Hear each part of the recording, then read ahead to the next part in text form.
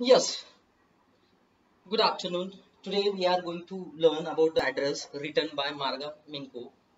And the lesson is dealing with the human nature and memories of the human relation.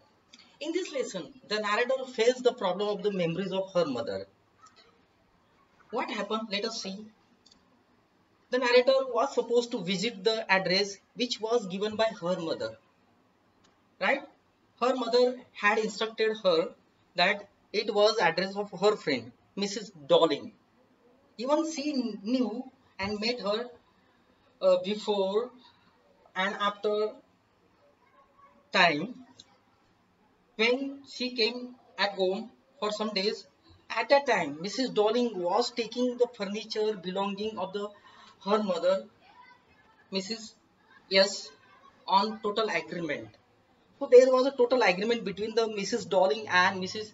S, who was the mother of narrator.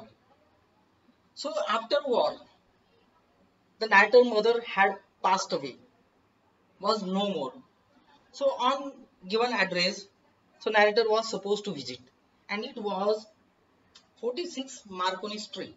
As soon as he reached there and she saw and recognized the face of Mrs. Dolling, and on the spot, the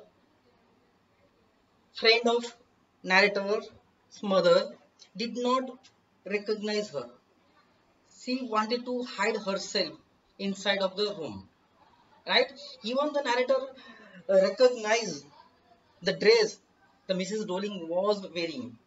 Right? It's it was green cardigan dress which her mother was wearing when she was alive. So, so she totally tried to hide herself and avoid and didn't recognize the narrator. So narrator returned to station and boarded the train.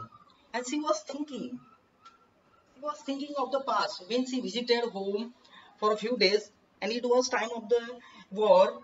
At that time, everything was changed at home. She suddenly asked her mother, why this uh, belonging and furniture was being carried by some other person. At that time, the mother of narrator introduced Mrs. Dolling very clearly and properly, right? And she believed, means who the mother mother believed that after some time the everything would be returned. So she knew that Mrs. Dolling properly and clearly. But she was disturbed. The way Mrs. Dolling treated her, didn't recognize her, didn't pay attention, and uh, talk very strangely with her. But again, narrator thought that like to visit second time. And this time she visited, but there was no Mrs. Dolling, her daughter who was 15 year old. Then narrator asked her where Mrs. Dolling was. So her daughter replied that she was outside and would return after half an hour. At that time, narrator was to wait for her. Then the girl called inside and took her the passage of the that room and she realized suddenly that right the furniture and everything belonging to her mother and that aroused the feeling of memories in narrator's mind. But she somehow controlled herself and she took the seat there. And at that moment, the girl went into the kitchen for a cup of tea for narrator. At that time, the narrator recognized each and everything, but she was sad over looking all these things. These furniture maintained very carelessly and it was like a, a dirty and smell which disturbed her. Even she recognized the tablecloth and there was a mark on the tablecloth. Even that she recognized. Even she saw the hole in that tablecloth which was never repaired when her mother was alive. Right? And after some time, the girl came back with the tea and poured on into the cup and she took out the box and opened it and she used a spoon. At the time, the girl said to narrator that it was very antique and there were many things they had. And narrator knew all these things. But she controlled and she didn't want to look at all these things. Right? Even she means girl wanted to say that all these things are having silver. Right? Even spoon, cup, even knives, plates, everything was belonged to the narrator's mothers. But he was thinking over the things, how these things are maintained badly by Mrs. Darling and her daughter. She wanted to take a round of that room, but at the same time, she realized that it aroused the feeling of her mother's memory, and there was no use of all these things because mother was no more, and she don't want all these things to take with her because she wanted she was living in small room where all these things couldn't find a place. So she got up and didn't say anything to girl and didn't wait for Mrs. Darling and she said goodbye. Even the girl asked her why she is she was not waiting for her mother. But narrator didn't say. She realized that it was better to forget even the belonging and mother's feelings and memories and leave each and everything in the past and move ahead. That was the story. तो दोस्तों ये जो address जो story है मारिया मिंको के द्वारा लिखाई गई यहाँ पर नरेटर अपने भूतकाल के जो फीलिंग्स है अपने मदर्स की उनके बारे में कहीं ना कहीं कह रहे after second world war Holland में राइट जब मदर ने नरेटर को एड्रेस दिया था उसी एड्रेस पे उनको जाना था मार्कोनी 46 46 मार्कोनी स्ट्रीट क्योंकि मदर्स की बहुत सारी चीज़ें फर्नीचर बिलोंगिंग मिसेस डॉलिंग ले, ले चुकी थी। और उनके बीच में कहीं ना कहीं एग्रीमेंट बना था कि भाई आफ्टर सेकंड वर्ल्ड वॉर ये चीज़ें वापस दी जाएगी। तो उसी सिलसिले में वो वहाँ पर जाते हैं।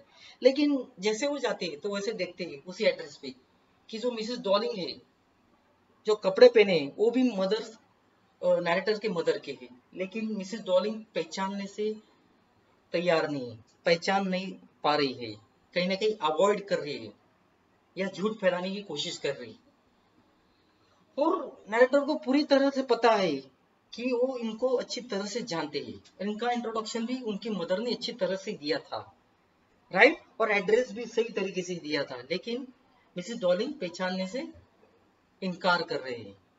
तो उसी समय ये नैरेटर वापस रेलवे स्टेशन जाते हैं और ट्रेन से वापस जाते। हैं लेकिन उनके दिमाग में चलता रहता है ये ऐसा क्यों हो रहा है? मिसेस डॉलिंग क्यों ऐसा कर रहे हैं? राइट लेकिन दोबारा वो वापस सेकेंड टाइम उसी एड्रेस पे जाते हैं।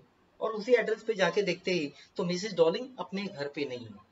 उनकी पंद्रह साल की लड़की है, जो कहती है कि मदर बाहर आधे घंटे के लिए गई है और वो वेट कर सकती है। तो नैरेटर वेट करना अच्छा लगता है नैरेटर को कि वो आधा घंटा वेट करे। लेकिन उसी समय गर्ल्स उनको अंदर लेती है और उसी पैसेज में से लेके जाती है। तो वो देखती है उस पैसेज और रूम में कि जहाँ पर फर्नीचर पड़ा हुआ है, जो उनके मदर का है। लेकिन वो दुखी हो जाते हैं कि उसको अच्छी तरह से मेंटेन किया गया नहीं। वापस स्मेल आ रही है, दुर्गंध आ रही है और उसी वजह से उनको बहुत दुख होता है कि ये जो फर्नीचर है, जो एंटीक है, जो वैल्यूबल है, इसको मेंटेन सही तरीके से नहीं किया गया उसी समय वो पंद्रह साल की लड़की चाय बनाने किचन में चली जाती है। तो नरेटर को टेबल क्लॉथ वहाँ पर दिखाई देता है, जिसपे मार्क होता है और एक होल भी होता है, वो तुरंत पहचान लेती है। लेकिन कुछ कह नहीं पाती है, क्योंकि उसकी वैल्यू पूरी तरह से चली गई है। राइट फिर बाद में वो गर्ल चाय लेके आती है और कप में डालती है और वहाँ से एक बक्से में से स्पून से शुगर निकालती है। तो स्पून और नाइव्स और जो प्लेट है, वो एंटीक है। वो कहीं ना कहीं सिल्वर कलर से है। और गर्ल्स उनकी तारीफ़ करती है और कहती है, ये बहुत सारी चीज़ें हमें मिली है। लेकिन नरेटर जानते हैं कहाँ से मिली है कैसे मिली है। राइट लेकिन वो बताना नहीं चाहती है। उसी समय नरेटर को लगता है कि शायद वो एक राउंड ले ले रूम का। लेकिन उसी समय उनको एक ख्याल आता है कि राउंड लेने से उनकी मदर की जो मेमोरीज है, यादें है, वो ताज़ा हो सकती है। और अभी वो वक्त नहीं है जो इन यादों को ताज़ा किया जाए, क्योंकि अभी उनकी वैल्यू घट चुकी है। तो बेटर है कि इसको छोड़ दिया जाए या भूल दिया जाए, आगे बढ़ा जाए, आगे बढ़कर चले जाए, या निकल जाए। तो चाय पीने के बाद नैरेटर खड़े हो जाते और सब भूलकर आगे बढ़ने का प्रयत्न करते हैं।